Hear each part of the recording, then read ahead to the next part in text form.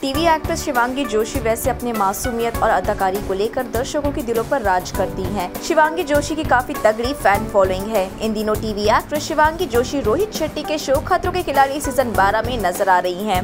ऐसे में अब खतरों के खिलाड़ी सीज़न 12 के सेट पर शिवांगी जोशी ने जमकर आँसू बहा दिए हैं दरअसल आपको बता दें कि रोहित शेट्टी ने शिवांगी जोशी को एक टास्क दिया, जिसे करने के चक्कर में शिवांगी जोशी ने बहाए आँसू। दरअसल एक इलेक्ट्रिक शॉक के टास्क के दौरान रोहित शेट्टी ने TV act actor Shivangi Joshi और मिस्टर फैजू की जोड़ी बनाई थी।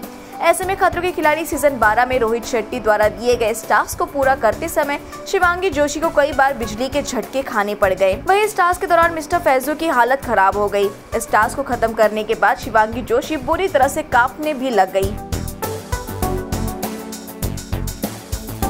आपको बता दें कि खतरों के खिलाड़ी सीज़न 12 के टास्क के बीच में शिवांगी जोशी ज़ोर ज़ोर से रोने लग गई, मगर फिर भी उन्होंने इस टास्क को बीच में नहीं छोड़ा। ऐसे में शिवांगी जोशी ने इस टास्क को पूरा करने की काफ़ी कोशिश की, मगर उनकी बिगड़ती हालत को देखकर रोहित शेट्टी ने इस टास्क को बीच में ही रुकवा दिया। ऐसे में इसके तुरंत बाद खतरों के खिलाड़ी सीज़न 12 की मेडिकल टीम ने फ़ौरन शिवांगी जोशी का चेकअप कर लिया। बता दें कि सांस न आने की वजह से शिवांगी जोशी अपने होश खोने लग गई थी। शिवांगी जोशी की ऐसी हालत देखकर वहाँ खड़े सभी लोग काफ़ी चौंक गए। ऐसे में शिवांगी जोशी का ये वीडियो सोशल मीडिया पर तेज़ी से हो रहा है वायरल। तो दोस्तों, इसको लेकर क्या है आपकी राय? कमेंट सेक्शन में बताना बिल्कुल भी ना भूले और हमारे चैनल को ज़रूर सब्सक्राइब करें।